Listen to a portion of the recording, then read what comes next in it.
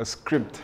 A script, to explain what a script is, is basically the, the information that someone writes for, for you. It's basically the blueprint, right? You know, when you're building a house, you first start with a blueprint, and everybody knows the blueprint. The, the builders would know, the architects would know, and, and everybody else involved in building the house would know. So that's how you should look at the, the script.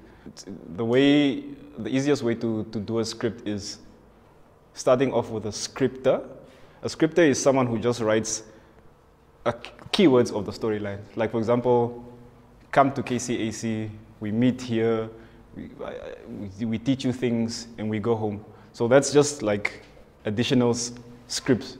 And then you would then give it to the script writer who would write it in detail.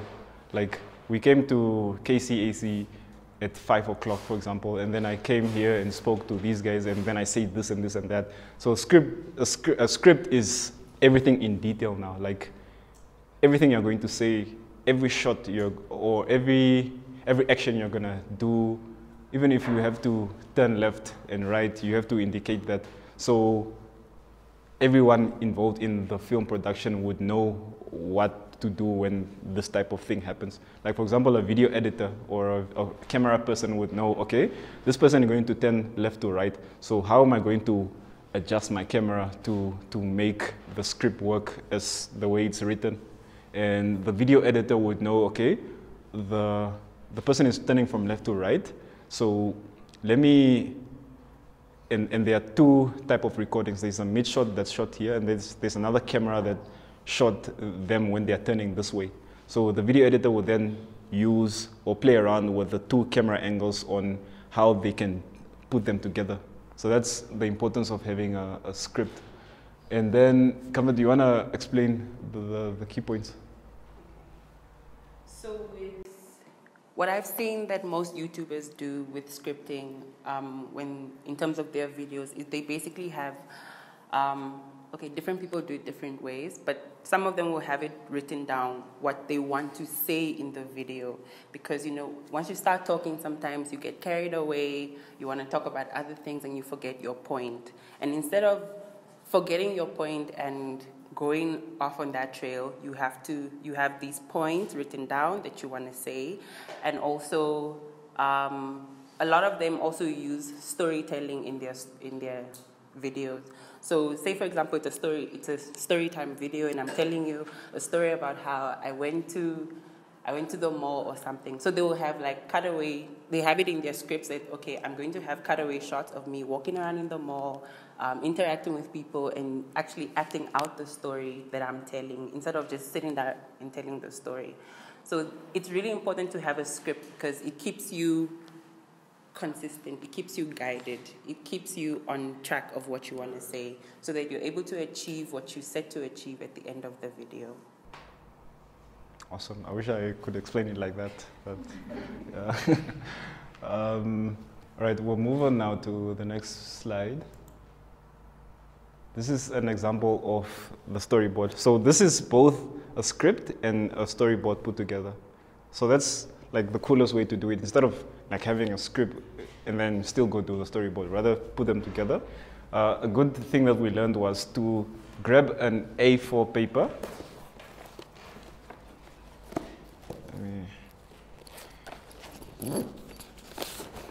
grab an A4 paper like this and you just start sketching out your, your script and, and, and, and storyboard.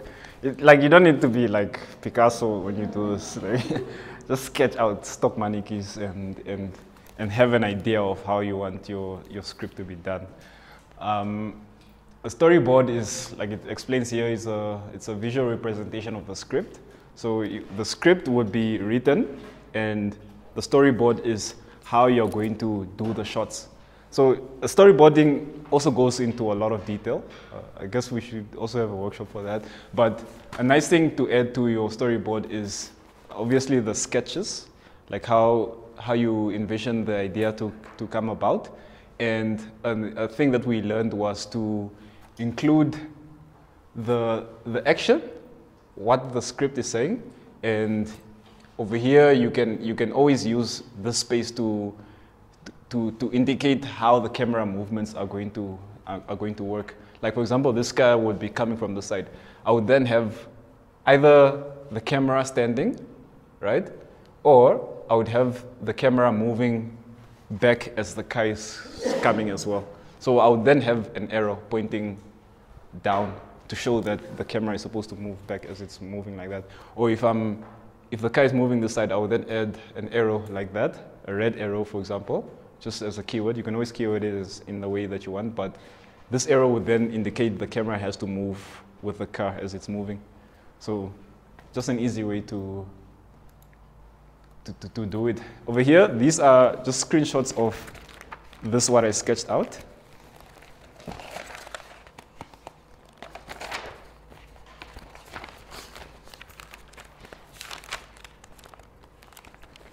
Right.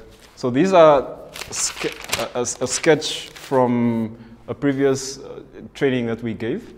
We sketched it out. I, I, I, was telling, I was teaching them about how to do the storyboarding. So what we do is, is put it into practice where we sketch it out. It's first the establishment shot, and then the car would be coming, and then it would turn and, and have people hanging out there as well as, as it reaches its uh, location. Over here, the guy then comes out of the car, shows the guy's foot. Um, he then walks to a view. He drinks his water. And then he throws it away, right? And the guys that he finds there look at what he's doing, and then they would get angry. And as he's walking to his car, one of the guys grab him. So every type of shot is there. And then the video would then rewind and have the same scenario of him approaching the place, drinking the water, throwing the bottle away, and then double guessing and picks up the bottle and walks off with the bottle. So that is the storyboard that we sketched out. Now, this is now the video.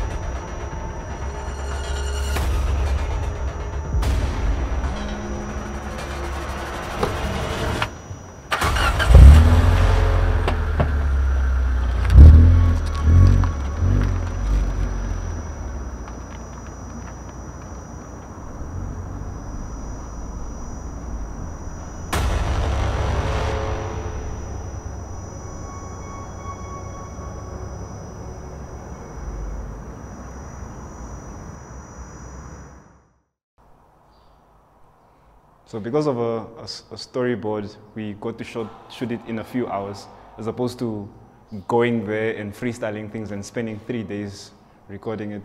So that's the beauty about scripting something and, and storyboarding. So yeah, um, I hope you understand like the importance of having a script and a storyboard, because you can use it for so many things. Um, let's see where we are now. All right. So before we move into filing systems, is there a question? All right. Just, uh, so I'm not trying to produce any big production. So if I'm just trying to do like a, a vlog for myself and my own, like, you know, whatever. How do you s- have a script but not break away from it to look at it and still be authentic and kind of connect, I guess, with, yeah, so it's, it's almost like, but also like, I don't want to not not have it because I, I, I chase rabbits, so I'll probably go off. So how do you do both without it looking like you're looking at a script and you're following something, but still stay authentic and connect? I don't know. Okay, Come so it's, it's something that I also experience. So what I usually do is I would write keywords and then I would freestyle from the keywords. Like for example, water, um, shoes, car. So I would have those keywords there and then I would be like, hi guys, today uh, I'm, I was sitting at home, then I grabbed myself a bottle of water, I drank it, and then I went to go get my shoes, I put them on, and then I went to my car and drove off. So that's how, how I would use it to, to remember my script. So especially with now the vlogging, you don't really have to go too much into detail into Yeah. scripting. It's not like a, like a corporate production. So try that technique because it, it really helps me a lot. Okay. And then you just like freestyle, freestyle all the way. also, another thing that people also do is if you have points, so you have five things, that, maybe it's a video you want where you want to teach five things, five ways to boost your personal confidence or whatever. So you mention each one, and then when you're editing, then you remove the little parts where you were looking at the at the paper or trying to remember things.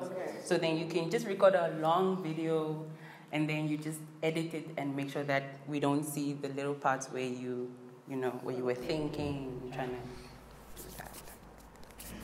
Awesome. Is there another question? Ms. Ovi? Um, I was thinking um, or wondering why there's no why question. Why are you doing it? Th- There's no what? You only have when, what is happening, Oh. how. Yeah. Yeah. Yeah, I mean, um, you ca it's it's it's not it's not like you, you, it's not a rule. You can you can add what you want and you can remove what you want. We we just didn't edit because we we didn't we didn't edit. Yeah, but but you can you can you can you can always edit and then have your reason why you are doing something. Like um, a why would usually be used if you are trying to get an audience to understand something or you're trying to communicate a message. But uh, like usually it's like a vlogging video would be like advertising something or talking about something like generic stuff. Unless it's like you are for a cause uh, where you only do vloggings for this type of course that's when you can add the why. But the why can be incorporated in anything actually um, even if you're doing like the generic stuff why are you doing the video for today? Why why did you decide to come do it here and not in your studio? So the why is basically just a, a foundation part to to add to other whys if you get what i mean. But yeah. All right filing systems um, this is the filing system that we work with uh, just for you to get an idea on how to, to, to put your folders. So we have one, two, three, four folders. The first folder is usually where the working file is, like where the program is, where you're editing your work and stuff like that. Number two, the second folder would be links, where you add now your, your audio. So you would have this main folder, and then you would have now a folder for your audios that you recorded. Like this type of audio would be in this, in this file. We have the, the file for the pictures, like in case you, you've taken any pictures. We have the files for cutaways, and we have the files for B-rolls. We'll explain what cutaways and B-rolls are in a few minutes. Um, and we have now, in case you have animations, you can have your file for animations as well. And then the third folder would be the copy. Like if you did a script or there's any folder that's or document that's that's that's copy related, you would then have it in this folder. And if you have logos to add to your videos, like you are sponsored by someone or you're collaborating with someone, you would then have your logos there. Instead of having like all of the things in one file, which makes it unorganized, number one, and difficult for you to find specific things. So rather have them organized in this way and, and know where everything is. But uh, it's not, again, it's not a rule. This is just like our system, but you can always create it in the way that you want. Like if you see that there's something that you, that you do, but is not in any of these folders, you can always edit. Or you can always remove it, like animations. I'm sure not everyone would be doing animations in their things, so you can also always do without it. So it's, it's up to you. You can customize it in the way you want, but this is like a standard system that, uh, that, that people create.